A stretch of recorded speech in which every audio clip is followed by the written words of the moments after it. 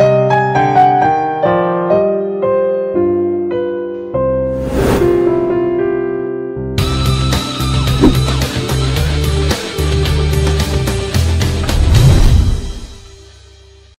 Friends.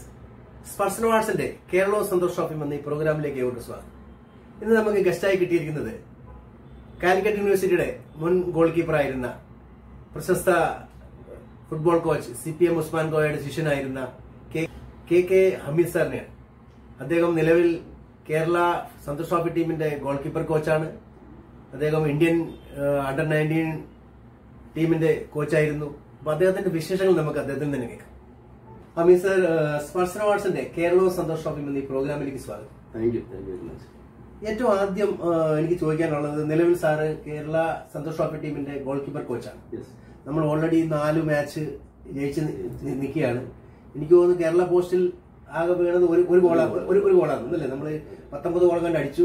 തിരിച്ച് നമുക്ക് ഒരു ഒരു- ഗോളാണ് നമ്മൾ ഇതിന് വന്നത്. എന്താണ് നമ്മുടെ ഈ ടീമിന്റെ പെർഫോമൻസിനെ പറ്റി സാറിന് പറയാൻ? ഇതൊരു മിക്സ്ഡ് ടീമാണ്. അതായത് മിക്സ്ഡ് മീൻസ് കൂടുതലും യങ്സ്റ്റേഴ്സ് ആണ്. മിക്സ്ഡ് എന്ന് പറഞ്ഞാൽ സീനിയർ പ്ലേയേഴ്സ് രണ്ടോ മൂന്നോ സീനിയർ പ്ലേയേഴ്സ് വെച്ചിട്ടുള്ള ഒരു ടീമാണ്.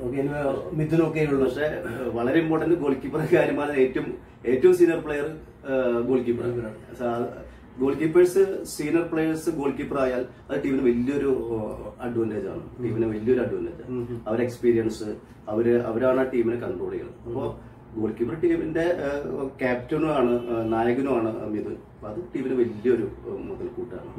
മിഥുന്റെ ഒരു ഇപ്പോ സാറിന് അറിയാവുന്ന നമ്മൾ ഈ സന്തോഷ് ട്രോഫി വേറൊരു തലത്തിലേക്ക് വളരാൻ പോവുകയാണ് അല്ലെങ്കിൽ വേറെ തലത്തിലേക്ക് മാറാൻ പോവുകയാണ്. കാരണം ഒരു നാഷണൽ ലെവലിൽ നിന്നൊക്കെ വിട്ട് ഒരു ഇന്റർനാഷണൽ പ്ലാറ്റ്ഫോമിലേക്ക് ഇത് വളരാൻ പോവുകയാണ് കാരണം ഇപ്രാവശ്യത്തെ സെമി ഫൈനൽ ഫൈനൽ നടക്കാൻ പോകുന്ന സൗദി അറേബ്യയിൽ അത് അറബിൽ വെച്ചാണ്. അപ്പൊ അതിനൊരു ചാൻസ് കിട്ടുക അതിൽ പോയി കളിക്കുക അവിടെ നിന്ന് നമ്മൾ കപ്പ് നേടി വരിക അതൊക്കെ ഓരോ മലയാളിയുടെയും സ്വപ്നമാണ്. എന്താണ് അതിനുള്ളൊരു പ്ലാൻ വലിയ വലിയൊരു എക്സ്പോഷറാണ് അത് നമ്മുടെ വളർന്നു വരുന്ന കളിക്കാർക്ക്. പ്രത്യേകിച്ച് നമ്മൾ പറഞ്ഞത് യങ്സ്റ്റേഴ്സ് ടീമാണ് അപ്പൊ അവർക്ക് ഫസ്റ്റ് കൂടുതൽ പേരും ആദ്യമായിട്ട് സന്തോഷത്തിൽ കളിക്കുന്നവരെ അവർക്ക് ഫസ്റ്റ് തന്നെ വലിയൊരു എക്സ്പോഷറാണ് കിട്ടുന്നത്. അപ്പോ ഇന്ത്യൻ ടീം നമ്മൾ മുന്നേ പറയാറുണ്ട് ഇന്ത്യൻ ടീം എന്തുകൊണ്ട് വേൾഡ് കപ്പ് കളിക്കുന്നില്ല എന്നൊക്കെ പറയുമ്പോൾ അത് എക്സ്പോഷറിന്റെ ഒരു കുറവ് തന്നെയാണ്. അപ്പോൾ നമുക്ക് കേരളത്തിന് ഇവിടെ സെമി ഫൈനലൊക്കെ വിൻ ചെയ്ത് നമുക്ക് സെമി സോറി സെമി ഫൈനൽ നമുക്ക് കളിക്കാൻ നമുക്ക് പുറത്തേക്ക് ഒരു അവസരം കിട്ടുക എന്ന് പറഞ്ഞാൽ പ്ലെയേഴ്സിന് കിട്ടുന്ന വലിയൊരു എക്സ്പോഷറാണ് വലിയ എക്സ്പോഷർ നമ്മളിപ്പോ നാളെ മിസോറവുമായിട്ട് നമ്മുടെ ഫൈനൽ കളിയാണ് നമ്മൾ കളിക്കാൻ പോകുന്നത് അതിനുശേഷം ഡൽഹിയിലാണ് നെക്സ്റ്റ് ലെവൽ കളികൾ നടക്കുന്നത്. ആ നെക്സ്റ്റ് ലെവൽ കളികളിലുള്ള ടീമുകളും അതിൽ നമ്മളുടെ എന്തൊക്കെയാണ് നമ്മുടെ പ്ലാനിങ്ങൾ എനിക്ക് നെക്സ്റ്റ് ലെവൽ കുറച്ചുകൂടി ടഫ് ആയിരിക്കും. ഇവിടെ ഇവിടെ നമുക്ക് അത്ര വലിയ ഒരു ടഫ്നെസ് ഫീൽ ചെയ്തിട്ടില്ല. എനിക്ക് തോന്നുന്നു നാളത്തെ മാച്ച് കുറച്ച് ബുദ്ധിമുട്ടുണ്ടായിരിക്കും. ഒരു കുറച്ചും കൂടി നല്ലൊരു ഓപ്പണന്റ് ആണ്. പക്ഷെ ഡൽഹിയിലേക്ക് പോകുമ്പോൾ അത് എല്ലാ ടീമുകളും ഒന്നിനൊന്ന് മെച്ചുള്ള ടീമാണ്. ഡൽഹിയൊക്കെ ഇപ്പൊ നല്ല ഫോമിലാണ്. ഡൽഹി നല്ല- ഫോം ഡൽഹി മിസോറാം മണിപ്പൂര്. അതെ മണിപ്പൂര് എല്ലാം എല്ലാ ടീമുകളും. കർണാടക അവരെ ബെസ്റ്റ് റണ്ണേഴ്സ് ആയിട്ട് അവരും ചാൻസ് ഉണ്ട് അവർക്ക് വരാൻ. അപ്പൊ അങ്ങനെ വരുമ്പോ നമ്മൾ ഓരോ മാച്ച് നമ്മൾ നന്നായി പ്രിപ്പയർ പ്രിപ്പയർ ചെയ്യണം. ഓരോ മാച്ചും വെൽ പ്ലാൻഡ് ആയിരിക്കണം. നമ്മൾ അതിനുള്ള സമയം കിട്ടും എന്ന് വിചാരിക്കുന്നു. അപ്പൊ നമുക്ക് കുറച്ച് സമയം കിട്ടിയിരുന്നു. സമയമുണ്ടല്ലോ. ഡിസംബർ ജനുവരി ഫെബ്രുവരിയിലാണ് തോന്നുന്നു. അതെ അതെ. ഫെബ്രുവരി ഒരു മിഡിലായിട്ട് ഉണ്ടായിരിക്കുള്ളൂ.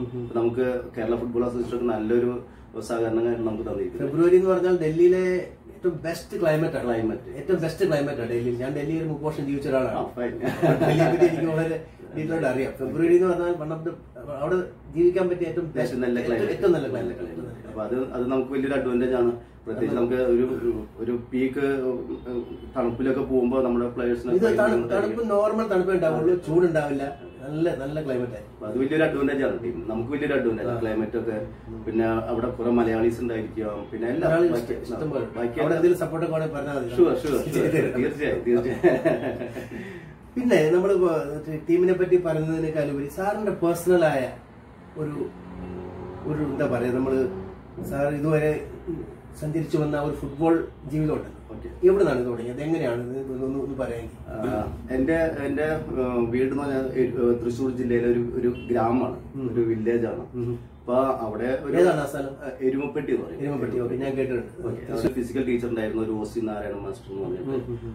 അങ്ങോരുടെ ഒരു ഇൻട്രസ്റ്റ് കൊണ്ട് കുറെ പ്ലേയേഴ്സ് ഇപ്പൊ എനിക്ക് തോന്നുന്നത് കേരളത്തിലെ ഏറ്റവും കൂടുതൽ ഫിസിക്കൽ ടീച്ചേഴ്സ് ഉള്ളത് എരുമപ്പെട്ടി ഇരുന്ന ഏറ്റവും കൂടുതൽ ഫിസിക്കൽ ടീച്ചേഴ്സ് അത് ഒരു ഒരു പെർട്ടിക്കുലർ ഒരു ഐറ്റത്തിലല്ല ഒരു എല്ലാ ഐറ്റത്തിലേക്ക് ആ പ്ലേയേഴ്സിനെ കൊണ്ടുപോകുന്നത് കൊണ്ട് ആ, ഫിസിക്കൽ ടീച്ചേഴ്സ് എന്നുള്ളതിലേക്ക് കുറെ പേരെ കോൺട്രിബ്യൂട്ട് ചെയ്യാൻ അവിടെ നിന്ന് കഴിഞ്ഞിട്ടുണ്ട്.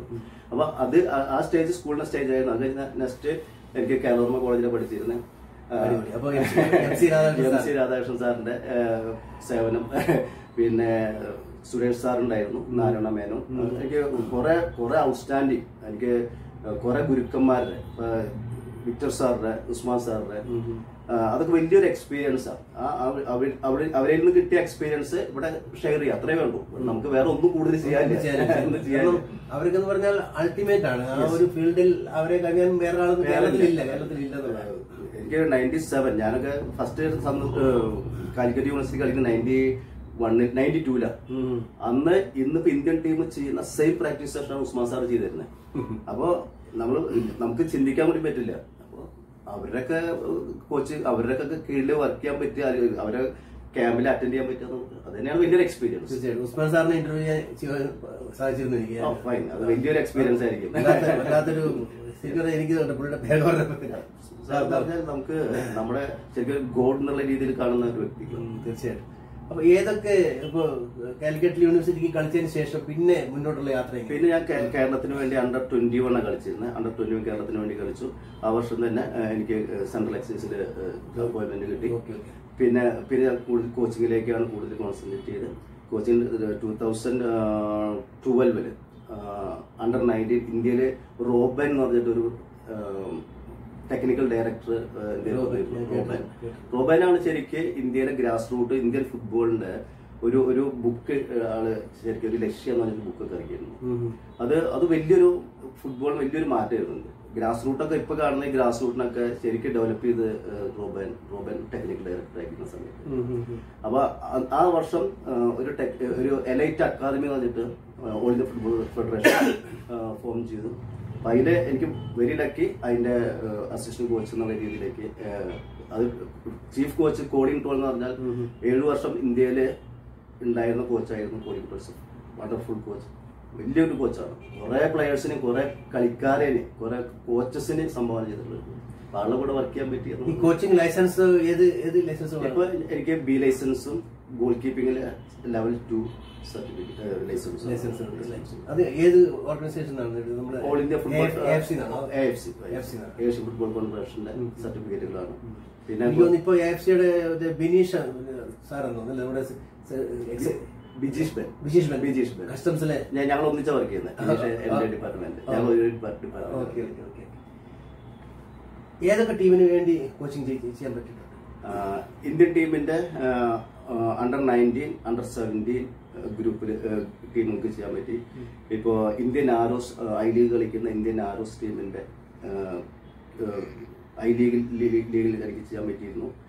പിന്നെ customs central excise and customs ടീമിന്റെ ചീഫ് കോച്ചായിരുന്നു കേരള ടീമിന്റെ ഡിഫറെന്റ് ഏജ് ഗ്രൂപ്പുകളിലെ മൂന്ന് വർഷം കേരള ടീമിന്റെ ചീഫ് കോച്ചായിരുന്നു സന്തോഷ് ട്രോഫി രണ്ടായിരത്തി പതിനഞ്ചിൽ കേരളം തേർഡ് പ്ലേസ് വന്നപ്പോൾ അതിന്റെ ഗോൾ കീപ്പിംഗ് കോച്ചായിരുന്നു നാഷണൽ ഗെയിംസ് രണ്ട് പ്രാവശ്യം നാഷണൽ ഗെയിംസ് കേരളത്തിന്റെ ഗോൾ കീപ്പിംഗ് കോച്ച് കിട്ടി. ഒരു പ്രാവശ്യം അസിസ്റ്റന്റ് കോച്ചുമായിരുന്നു കോച്ചിങ് വലിയൊരു ഭാഗ്യമാണ് കോച്ച് ഇതിലേക്ക് ഇന്ത്യൻ ടീമിന്റെ ഒരു ഉസ്മാൻ കോയ സാറിനെ ഇതൊക്കെ പഠിച്ച കാര്യങ്ങളും മറ്റുള്ളവർക്ക് പറഞ്ഞു കൊടുത്താലേ പറ്റുള്ളൂ. പതിനഞ്ചോളം ഒരു പുറത്ത് കൺട്രീസ് ഇന്ത്യൻ ടീമിന്റെ കൂടെ എക്സ്പോഷർ ട്രിപ്പുകളും സാഫ് കപ്പ് പോലത്തുള്ള വലിയ ടൂർണമെന്റുകളും ഓഫീസിലൊക്കെ പോയി എവിടെ എവിടെയൊക്കെ പോയി കളി ടീമിന്റെ കൂടെ പോകാൻ പറ്റിയിട്ടുണ്ട്. ഏതാ? ഓവർസീസിൽ ആ ഓവർസീസ് എനിക്ക് ആഹ്, ഉം, ഇപ്പോ യൂറോപ്യൻ കൺട്രീസിൽ സ്പെയിൻ റഷ്യ തുർക്കി ഓസ്ട്രേലിയ ഒരു വൺ നാട്ട് ടു എന്ന് പറഞ്ഞാൽ വലിയൊരു ഒരു ഒരു ബ്യൂട്ടിഫുൾ പ്ലേസ് ആണ് അതായത് ന്യൂസിലൻഡിന്റെയും ഓസ്ട്രേലിയയും നടുക്കുള്ള ഒരു വലിയൊരു ദ്വീപാണ് വൺ നാട്ട് ടു എന്ന് പറയും. അതൊരു ഒരു ഫോർ നാഷണൽ ടൂർണമെന്റ് നമ്മൾ ചാമ്പ്യൻസ് ആയിരുന്നു. പിന്നെ ഫോറി നമ്മുടെ അണ്ടർ നയന്റീൻ പോയിട്ട് അർജന്റീനയെ തോപ്പിച്ച കാര്യം പറഞ്ഞത് ഏത് വർഷം അത് two thousand eighteen nine seventeen എയ്റ്റീനിൽ നമ്മൾ കോട്ടിഫ് ടൂർണമെന്റ് ആയിരുന്നു സ്പാൻ സ്പെയിനിലായിരുന്നു അത് അപ്പൊ നമ്മൾ ഇപ്പൊ സ്കലോണി ആയിരുന്നു അതിന്റെ ചീഫ് കോച്ച് അണ്ടർ അർജന്റീന ടീമിന്റെ. നമ്മൾ ടു വണ്ണിൽ നമ്മൾ അവരെ തോൽപ്പിക്കാൻ പറ്റി. അത് വലിയൊരു വലിയൊരു ഭാഗ്യമാണ്. സ്കോർ ബോർഡിലൊക്കെ നമുക്ക് ഇന്ത്യ ടു അർജന്റീന വൺ ഒക്കെ നമുക്ക് കാണാൻ പറ്റുന്ന ജീവിതത്തിലെ കിട്ടുന്ന വലിയൊരു ഭാഗ്യമാണ് അത് അത് ആ- ടീമിന്റെ ഒരു പാർട്ടാവുമ്പോൾ ഭാഗ്യം കിട്ടിയ വലിയൊരു സന്തോഷമുള്ള ഇനി ഫുട്ബോളിലെ ഒരു ഡ്രീം എന്താണ്? ഫുട്ബോൾ നമ്മുടെ ഓരോ മലയാളികളെയും അല്ലെ ഓരോ ഇന്ത്യക്കാരുടെ ഡ്രീം എന്ന് പറഞ്ഞാൽ അവർ വേൾഡ് കപ്പ് ഇന്ത്യ കളിക്കുന്നത് കാണുക എന്നുള്ള വലിയൊരു ഡ്രീം അല്ലേ? അപ്പൊ അതിന്റെ അതിന്റെ ഒരു പാർട്ടാവുക അതായത് വേൾഡ് കപ്പ് ടീമിന്റെ ഭാഗത്താവില്ല അതിന്റെ ഒരു സ്റ്റെപ്പിലേക്ക് നമുക്ക് അതിന്റെ ഒപ്പം നിൽക്കാൻ പറ്റുക എന്നുള്ളത് വലിയൊരു ഇന്നത്തെ നമ്മുടെ ഒരു ഫുട്ബോൾ സ്ട്രക്ചർ വെച്ചിട്ട് എവിടെ നമുക്ക് എത്താൻ പറ്റും? എവിടെ എത്ര വർഷം നമുക്ക് ഇനി എടുക്കും? ഞാൻ രണ്ടായിരത്തി ഞാൻ രണ്ടായിരത്തി പതിമൂന്നിലാണ് ഞാൻ ഇന്ത്യൻ ടീമിന്റെ സ്കോഡിലേക്ക് പോകുന്നത്. അന്ന് നമ്മൾ ഏറ്റവും കൂടുതൽ ഫേസ് ചെയ്തിരുന്നത് ഇൻഫ്രാസ്ട്രക്ചറാണ് നമ്മുടെ അടിസ്ഥാന സൗകര്യങ്ങൾ മറ്റുള്ള കൺട്രീസിനെ നമ്മൾ കമ്പയർ ചെയ്യുമ്പോൾ നമ്മൾ വളരെ പിന്നിലാണ്. കുറെ വർഷങ്ങൾ പിന്നിലാണ് അതായത് നമുക്ക് ഈ രണ്ടായിരത്തി പതിമൂന്നിൽ നമ്മൾ ഖത്തർ ഖത്തറിലായിരുന്നു ഈ വേൾഡ് കപ്പ് ക്വാളിഫയർ ആവുന്നത് അണ്ടർ നയന്റീന്റെ ഒരു ഒരു വർഷം നമ്മൾ ഈ ക്വാളിഫയർ ഇതിനും പ്രാക്ടീസ് സെഷൻ ഗോവയിൽ ഒരു വാസ്തവം പറഞ്ഞാൽ ഇന്ത്യൻ ടീമിന് ഒരു ഗ്രൗണ്ട് ഇല്ല. ഇന്ത്യൻ ഓൾ ഇന്ത്യ ഫുട്ബോൾ ഫെഡറേഷന് ഒരു ഗ്രൗണ്ട് ഇല്ല. ആ കൂട്ടിയിട്ടുള്ളതൊരു ഒരു ഡൽഹിയിലുള്ള ഒരു സോക്കർ ഹൗസ് ഒരു ഫുട്ബോൾ ഹൗസും ഗോവയിലുള്ള ഒരു ട്രെയിനിങ് സെന്റർ അതായത് കുട്ടികൾക്ക് താമസിക്കാൻ പറ്റുന്ന ഒരു പത്ത് നാൽപ്പത് കുട്ടികൾക്ക് താമസിക്കാൻ പറ്റുന്ന ഒരു സ്ഥലം. അല്ലാണ്ട് ഒരു ഫുട്ബോൾ ഗ്രൗണ്ട് ഇല്ല നമുക്ക്. നമ്മൾ ജവഹർലാൽ നെഹ്റു സ്റ്റേഡിയം പോലും സൈഡാണ് നമുക്ക് ഗ്രൗണ്ട് വലിയ വലിയൊരു ഡിസഡ്വാന്റേജ് ആണ് ഇന്ത്യൻ ടീമിൽ നമ്മൾ മറ്റുള്ള കൺട്രീസിലൊക്കെ പോകുമ്പോൾ മറ്റുള്ള കൺട്രീസിലൊക്കെ പോകുമ്പോൾ നമുക്ക് നമുക്ക് ഭയങ്കര ഭയങ്കര അതിശയമായിരിക്കും ഇപ്പോൾ സെർബിയ അവിടെയൊക്കെ പോകുമ്പോൾ അവിടെ ഒരു ഒരു പതിനഞ്ച് ഗ്രൗണ്ടുകൾ നമ്മൾ കണ്ടിട്ടുണ്ട്. പതിനഞ്ച് ഗ്രൗണ്ട് എന്ന് പറഞ്ഞാൽ ഒരു പ്രിമൈസിൽ ഒരു അഞ്ച് ഗ്രൗണ്ട് ഉണ്ടായിരിക്കും അതിന്റെ ഉള്ളിൽ.